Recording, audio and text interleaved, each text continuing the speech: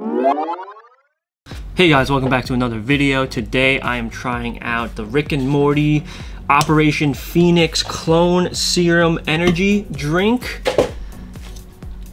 It's been a while since I've tried a novelty energy drink, but I'm super excited. Uh, I always like the taste of these energy drinks. Well, you know, most of the time, but I guess I can't say always, but uh, I'm super excited to try another one. Rick and Morty, I'm a huge fan. If you guys you know, are into the series, this is another collectible can you can collect.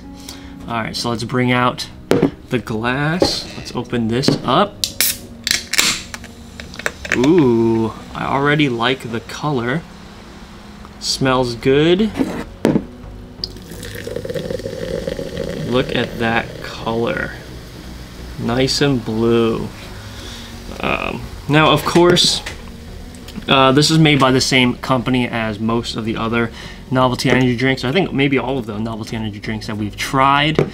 Um, so this flavor will probably be similar to some of the other ones if you like it. I can already tell. I really like the blue flavored ones. I think the Sonic one was blue. I forgot which other one was blue. Mega Man, maybe? Can't really remember, but look at that color. Smells the same, so let's give it a try.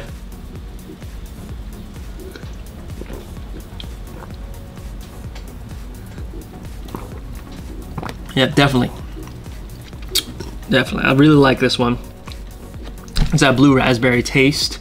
Um, and I know in a previous video, and somebody did comment on it, that I did say caffeine flavor or something like that, and caffeine doesn't have a flavor. What I meant was like the sugar, the high sugar taste. Um, I forgot what, uh, I can't really describe it, but you know, like something from like Red Bull or something like that uh, has that taste, like the classic Red Bull. Um, was the taste I'm talking about. So that's what I mean. That's what I meant to say. But yeah, so this is uh, really good. I really like this. I could drink this, you know, as my energy drink. This is gonna be my energy for the day. Uh, so there you go, guys. This was once again Rick and Morty Operation Phoenix Clone Serum Energy Drink.